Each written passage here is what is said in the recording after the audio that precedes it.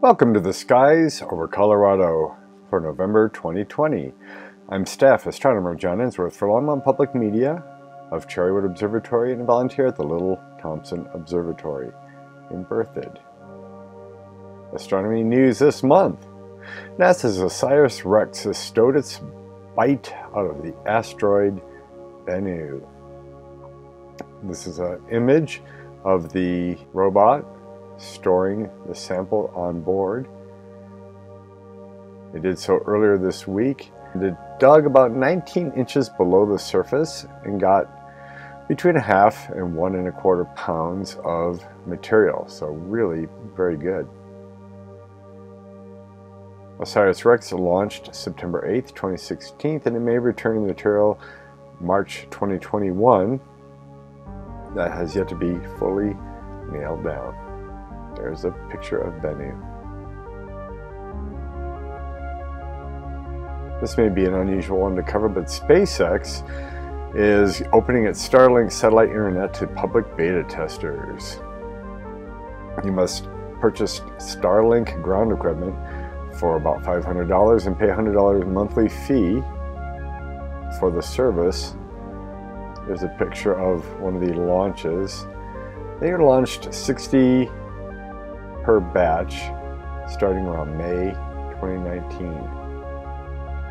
The reason it matters to astronomers is because even though they're working to make these less reflective, at least soon after launch, they do reflect a lot of sunlight in the evening and the morning sky and definitely mar astronomers' view of the universe. A mystery has been solved in astronomy. Fast radio bursts now have a known cause. These are very powerful radio bursts that last only milliseconds, 0.001 second. We now know them to be formed by magnetars or magnetic stars. These are stellar remnants, neutron stars that form an extremely powerful magnetic field. They have flares that erupt on the surface. It takes a while for that material to leave, and then the next flare seems to impact with the earlier particles, releasing a colossal amount of energy. This is a month's worth of solar energy in that tiny twinkling of time. Earth's magnetic field is 10 to the minus 5 Tesla, where the magnetic fields around these magnetars approach 10 to the 9 to 10 to the 11th. That is fantastically, ridiculously powerful.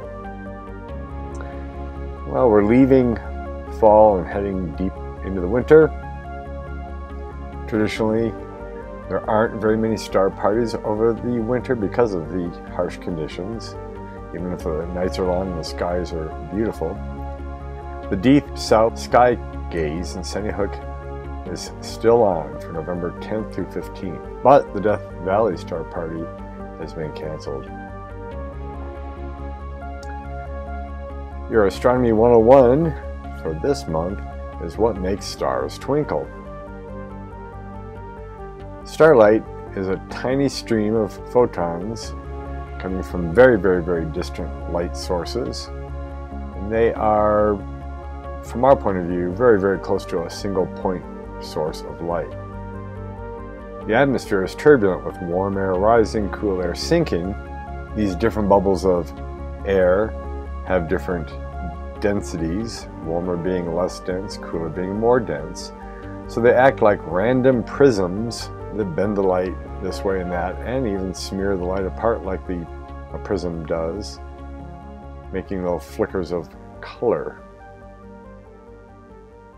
Stars hot overhead don't twinkle very much because there's very little atmosphere between you and outer space. It may only be about 5 or 10 miles of pretty thick stuff. The long path coming in from the horizon has a long way to go and a lot of atmosphere to distort it, redden it, and make it blur and twinkle. Stars, being point sources of light, can get jostled around very easily and you see a smear twinkly image from a star when the seeing is not good. Planets have some size, so even if it jitters around a little bit, there's paths through the atmosphere that kind of create the original image right where it is. You can see in a telescope or binoculars that it's fuzzier, but to the eye, just looking up into the sky, planets are always overlapping themselves. So as a general rule of thumb, unless the seeing is really bad, like right after a very powerful cold front come, came through in the winter, stars twinkle and planets do not. Another neat thing the atmosphere does is it bends moonlight and sunlight from below the horizon to where you can see it.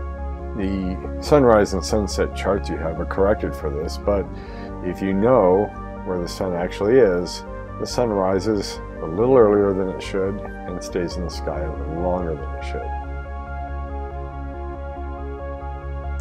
Let's take a look at the skies above your backyard. Looking at the moon, we had the full moon on Halloween night. That was a blue moon. It's the first full moon since 1944, if I found that out correctly. So we have the last quarter, November 8th, new moon, middle of the month. First quarter, night before Thanksgiving, and the very last day of the month is our full moon, just like in October. Planets in November. In the dusk and evening sky, down in the southwest, you'll see Jupiter first, then Saturn, Jupiter being the brighter one. They set before midnight, but Mars is high in the sky in the eastern sky at sunset. So here's Jupiter, Saturn. Mars is way up here. Neptune's up here too, but it's just hard to see. On either side of midnight, Neptune crosses the meridian an hour or so after sunset. Uranus crosses the meridian a couple hours later. Mars is up basically all night, and it's very bright for Mars, but is beginning to dim. We're starting to leave it behind. So looking out at midnight, or just after midnight, you see Mars down in the southwestern sky now. Uranus up here having crossed the meridian, Neptune just beginning to set. In the morning sky, we've got very bright Venus, and Mercury is going to be at its greatest elongation on the 10th, which means it's as high above the Sun as it will get this time. Venus rises a couple hours or more before sunrise, but it's beginning to dim. In the pre-dawn sky of November 10th, when Mercury is at its best, it's located here with Venus right above. Here's the sun just beginning to come up, and in reality, the sky in the east is beginning quite bright at this point. See a little sliver moon as it's heading towards new on the 10th.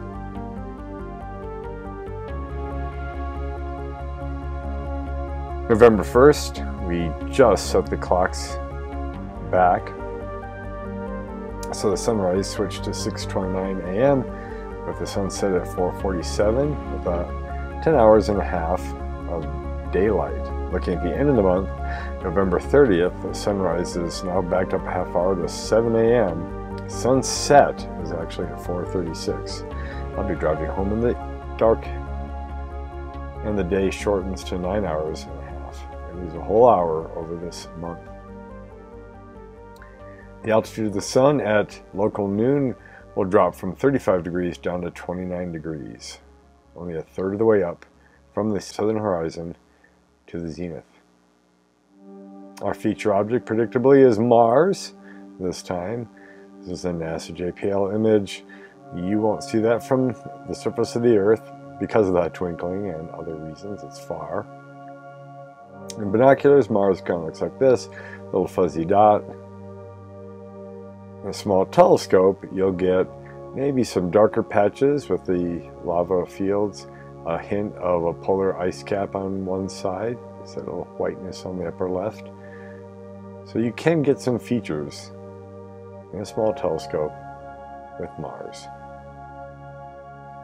Your observing challenge this month will be the minima of Algol.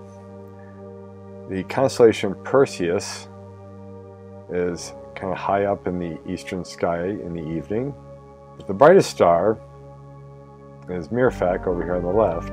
But down this leg of the constellation is the next brightest star, Algol. It dims very noticeably. That dimness lasts about two hours and it occurs every almost 2.9 days.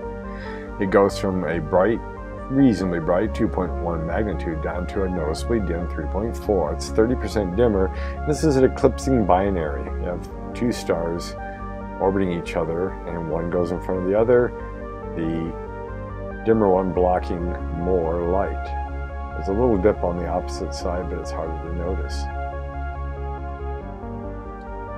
Taking a look at the beginning of one of the minima this month, it's a good, good time to see it. It'll be November 12th, just after 10 o'clock, 10 11 p.m. Looking into the eastern sky, here's Orion coming up, Taurus, the Pleiades, then the upper left is Perseus, and there's Algol right there. So straight up in the east, just after 10 p.m. Go out an hour or two before that, take a look at how bright it is, and then come out after 10, maybe around 10.30, and see how dim it has become. If you stay up till midnight or 1, it will return to its full brightness. Astronomy events near Longmont. Longmont Astronomical Society, November 19th, will have a Zoom meeting, Our Galaxy, the app and the real thing by Bill Sumi. I did not write that in there, sorry. November 21st would have been their open space star party, but that's canceled still. Would have been at 5.30 p.m. because the nights are getting so long. Little Thompson Observatory's public night, uh, they're still closed through early April now of 2021 but we may begin Zoom meetings in November, so keep an eye on starkids.org for that. Estes Park Memorial Observatory is going to be closed for the end of the year now. And keep an eye on what they might be doing early next year at angelsabove.org. Northern Colorado Astronomical Society, November 5th at 6.15 p.m., so this will uh, be on archive, I'm sure. Dr. Jeremy Darling talking about our universe via webcast. You have to go to nocoastro.org and request the link. Fiske Planetarium is doing dome to home virtual programs every Wednesday at 7. And then on November 19th at 7 p.m., they have fires, flooding, heat waves, drought, extreme events, and a changing climate. Didn't mark the speaker down for that either. Sorry about that. And they're open House Observatory evenings are still canceled. In my further reading section this month, old school star atlases. They've been largely replaced by apps and programs, but I like books. The Cambridge Star Atlas is a good one by Wil Tirion. Turn Left at Orion is a good beginner's guide. Burnham Celestial Handbooks are old but classics. Volume 1 and Volume 2 take you through the constellations alphabetically and highlight many of the objects that you can observe in telescope and binoculars in them. If you have any additions or corrections, contact me, John Ensworth at gmail.com. This has been the Skies over Colorado for November 2020. Keep looking up.